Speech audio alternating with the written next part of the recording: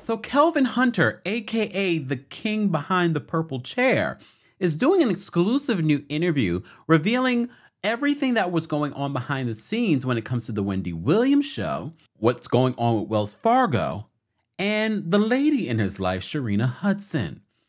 We're going to talk all about it, so grab a snack, grab your blanket, because it's story time with the Kempire.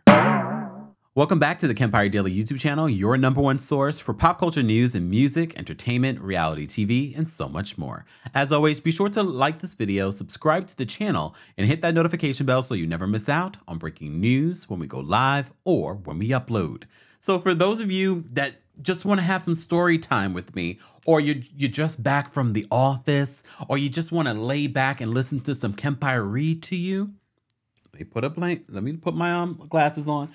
I got a little bit of a blanket here. Look, grab your blanket.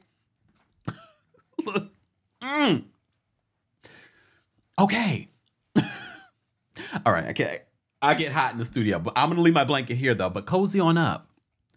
I even changed the lighting in here to make it a little bit more cozy for us. Because some of you watch me on your your te- your television. Hey, so our friends over at the West the West Side Gazette did an interview. We'll link them as always. What we do here, cite our sources, and they titled this interview "Hunted." Remember, his name is Kelvin Hunter. Hunted, the king behind the purple chair of po- of power. All right. So, in this interview, not only do they speak to Kelvin Hunter, aka Kevin Hunter, the former husband and manager of Wendy Williams, they also speak to their longtime personal executive assistant, Pamela Smith. And if you've been a longtime Wendy watcher, you're probably familiar with that name. I even remember when Pam was leaving the Wendy Williams show. I believe it's on like an after show. Sidebar, we haven't talked about how the Wendy Williams YouTube channel is actually back up for those that didn't know. It's just under Debmar-Mercury on YouTube. So the video footage is now av- available. So you can watch it there. So in this conversation with Kelvin Hunter, they talk a lot. They even talk about Charlamagne Tha God. And he says Charlamagne is not who you think he is. I don't know who to trust in that situation because there's Charlamagne, and then there's you, Kelvin. But we'll get to that. As I said to you before, just because I think it's necessary to read exactly what Kelvin is saying in this interview, buckle on up. I'm going to read a little bit of what he's saying in this conversation, a little bit of it. So, the interviewer go, has this conversation with Kelvin, and Kelvin says this in regards to the vision of Hot Topics. As you know, he claims in lawsuits and now in this interview that he was the visionary behind all of your favorite moments from the Wendy Williams show. Okay? So he says this We had a vision, and I didn't want anyone at the show messing up the vision. They couldn't hang money over our heads and tell us to do just something because we showed up with money. You remember, she was already doing quite well on radio, Wendy. He says we were already iced out, already driving the Lamborghini and Ferrari or what have you. So this money didn't make us, we made us. So early in our during our production, Debmar-Mercury had no idea about the culture Wendy embodied. That culture that they used to frown on and say people didn't want to hear about hip hop and all that. He says, however, after a while, Hot Topics, which I created, became nothing but about hip hop artists. Sidebar, you didn't create Hot Topics. Maybe you created for that show, but even Wendy admitted on her show that they stole that idea from The View. Let's be honest. Yes, she did it a lot better than than anyone else, but that was not your original idea. Okay. There's nothing really original under the sun at this point. So he continues and says, I told them quick that they were overkilling it and that Hot Topics had to be more defined, and we did that. He says, to Wendy's credit, she was talented and had the longest monologue on TV, including daytime and nighttime. Wendy's monologue lasted between 18 to 24 minutes. That was almost the entire show. That's a long time to be just sitting on a chair talking. Yo, remember when Wendy used to mimic him? Yo, he literally says, yo. He says, yo, the purple chair was her idea. Dope idea, and she held the audience for sure. When I look back at what she, what we did for an entire decade, it makes me upset. I had to do it for a minute. Okay, all right. So the interviewer says, upset, you both became multimillionaires and moved TV culture. Apparently, not enough multimillionaire millions for him because he's claiming that he's facing foreclosure because of this severance and alimony stopping stop being paid to him. He talks about that too. We'll get to that in a second. He continues in this conversation in response to uh, Casey. Casey says, Upset, you both became multimillionaires and moved TV culture. There are now a thousand YouTubers giving the world daily tea that are makeshift offspring of the Wendy Williams show. Do you mean that rather you feel un- underappreciated, unappreciated? He says, It's clear to say that after I left, the show tumbled hard. My intellectual prop, he's using these words for a reason, y'all. My intellectual property of the creation of the Wendy Williams show and how it had come across was key. They would not have experienced the, the success that they had without me. Wendy brought in 1.3 to 1.8 million viewers daily. Once I was gone, the people around her had her looking crazy sitting on that screen. He continues, he says, they certainly didn't care that she kept getting the help that she needed away from TV, but I cared. I always cared. My heart was always in the right place about her. Yes, we had our problems, but it was it was so personal of what I and she built. That's why all of the hot topics suddenly was about me. They tried to they tried their best to make her feel like you can be tough and have power over him, to be really mean, but she could not front and it was killing her inside. So if you remember those after she divorced Kelvin and some of the things that she would say on the show, this is what he's he's saying that the people around her were the ones motivating her to do this on television. When I was around, Wendy's day ended when she left the building, but mine didn't. There was always something that needed to be done or a call that needed to be took. I was the common denominator in every department, including decor, wardrobe, and guests. You know, yo, here you go. You know, yo. My anytime he says yo, I'm going to put on his voice. You know, yo, my thing is this with all the things she accomplished and as influential as she was, they chose to make everything about the scandal, the Lifetime movie, and the documentary. It was all about the scandal, and that's pathetic. Ooh, I need a sip after that. Okay. So Kelvin continues and talks more about what happened once they decided to part ways, to divorce, and when he decided to, well, when he was pushed out or severed ties with the Wendy Williams show. He says Wendy was coming out of rehab. You, you may recall she talked about that openly on her show. She was living at that facility. We were going through a divorce, and the news of my baby came out. I wasn't going to miss the birth of my daughter, and people saw me at the hospital. Truth be told, we should have gotten a divorce 10 years earlier. Even our son, Kevin, told said that to us. But anyway, uh, when the news was out, I told her I would step down from the show, and Wendy told me I need I need to stay because I was having a kid.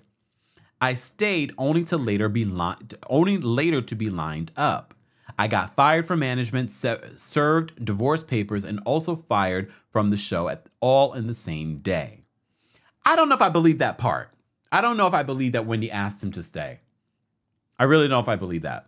But that's my own my own opinion. This is what he's saying. The interviewer says, "You you know you had to know that that a celebrity divorce, a baby and a mistress would bring heat in many ways." So Kevin responds and says this. I get that the fans feel like I was sneaking around and that I hurt Wendy. Pay attention to this. But in reality, Wendy had caught me years before with Sharina.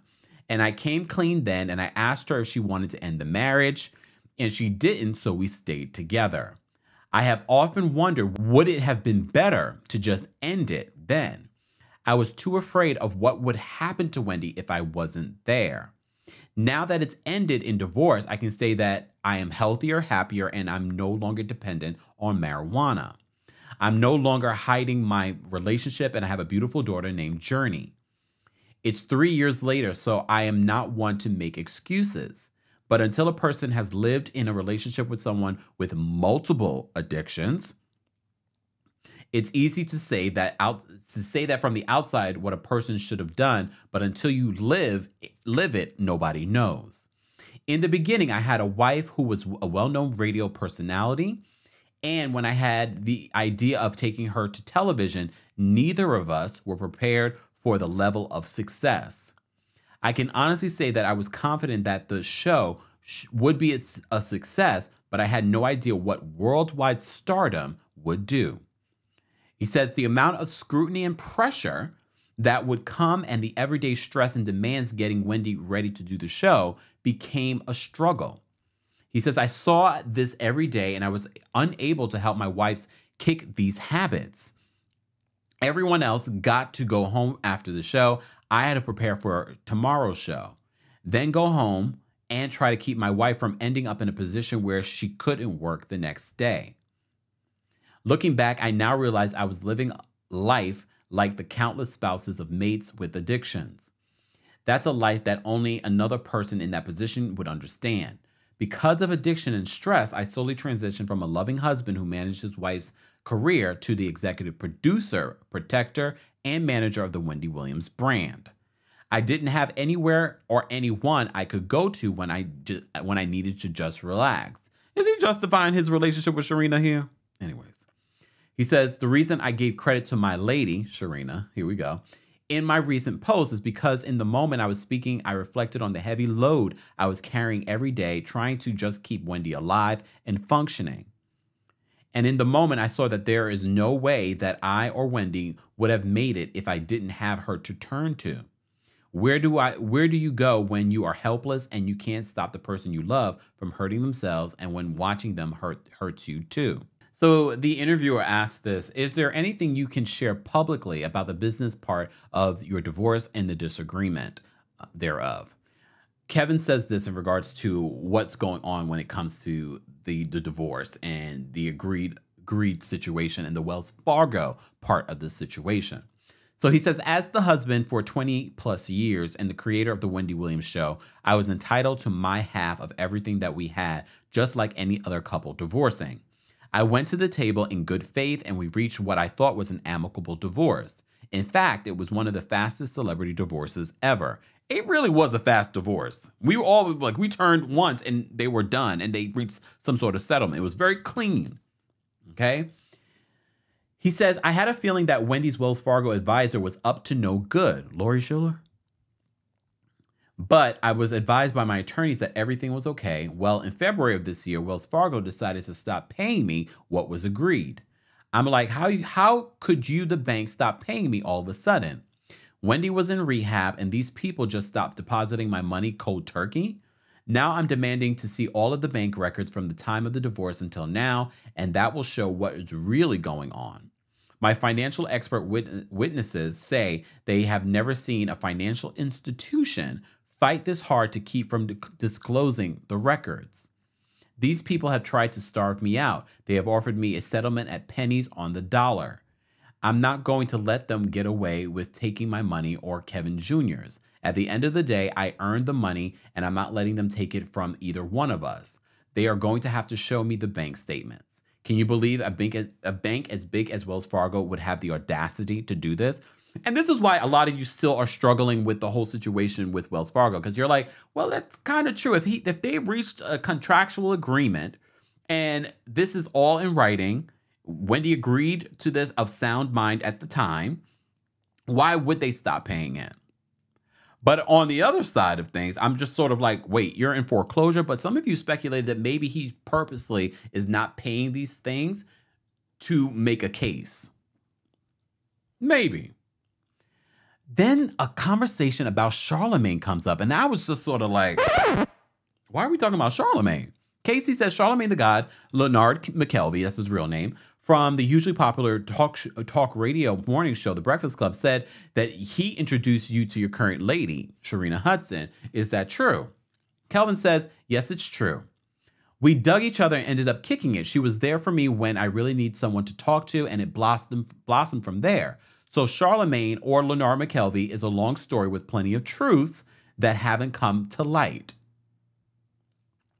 I gave him his start by bringing him up from South Carolina, as you already know, radio station, and put him on the Wendy Wendy's radio show, all right, which was the number one show in America's largest market. She didn't like the idea initially, but as her numbers grew, his name grew a lot as well. Mind you, I let him live in my condo for free for like six or seven years, just helping him as much as I could, like a little brother. It wasn't our family home or nothing like that, so it was cool. In reality, Wendy told me early on that Charlamagne was not who I thought he was. And he then he goes he goes left with this one. He says she turned out to be right. I'll go deeper in, into into his many stories in my book. For instance, I didn't know about the whole underage girl situation he got himself into that he admitted to on the Breakfast Club. I didn't know about that until our friendship was over, but I'm not even talking about that. You mentioned something earlier about destiny hunting, and yes, it hunts everyone. Just know that Charlamagne is not who you guys think he is. Yo, everybody got secrets. That's what he said, y'all. I, that's what he said in the interview. So, as you guys know, I reported on a story about Kevin Hunter Jr. and him being evicted from a $2 million rental. It's a rental, he doesn't own it. And he was asked to pay $70,000 in back rent, right? Apparently, Wendy got him this apartment. She paid the deposit and she paid for a year of rent, over $100,000. So, Kevin talks about his son in this interview and how his son was really uh, trying to help take care of his mother. So the interview, interviewer says this. Only a couple of days ago, it was reported that your former wife was released from a wellness facility, this facility in which Miss Williams has been since August of this year.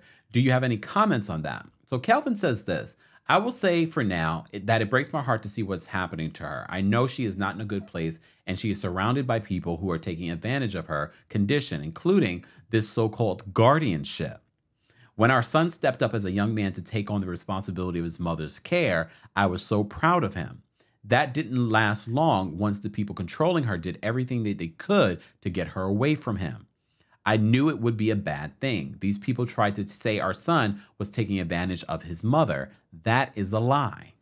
I already know what you guys are thinking. You're you're thinking, "Well, I can't trust you either." It seems like all these people that are around Wendy, she can trust anyone. And part of me thinks like, "Damn, Wendy, did you sort of set yourself up in this situation by not letting more people into your life that you could trust and you only had Kelvin as your as your one person? I do believe that there will be some clarity in, in regards to what is happening around Wendy. I am still looking at Wells Fargo with the side eye, side eye on how they're handling uh, Wendy's financial situation. Because look, no matter how you feel about Kelvin, if they had a, an agreement on how much he should be paid for leaving the show and divorcing Wendy. Because because if the tables were turned, we would feel like no, you need to pay that you need to pay that woman. So if they had an agreement and just because there's a guardianship in place, there's still things that need to be paid that Wendy agreed when she was of sound in mind, according to them, that need to be paid so I, I that's where I'm like, no matter how you feel about Kelvin, you know the narrative about Kelvin and him cheating and and whatnot.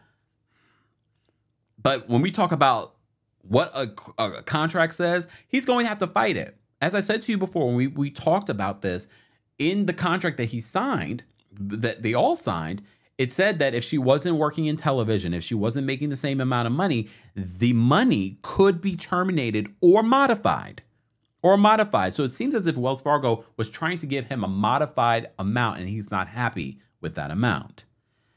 Guys, as always, I hope you had a good snack and cuddled up with me to talk about this story. I had to go through all the things that he said. Let's continue this conversation in the comment section. And as always, be sure to like this video, subscribe to the channel, and hit that notification bell so you never miss out on breaking news when we go live or when we upload. Thanks for watching.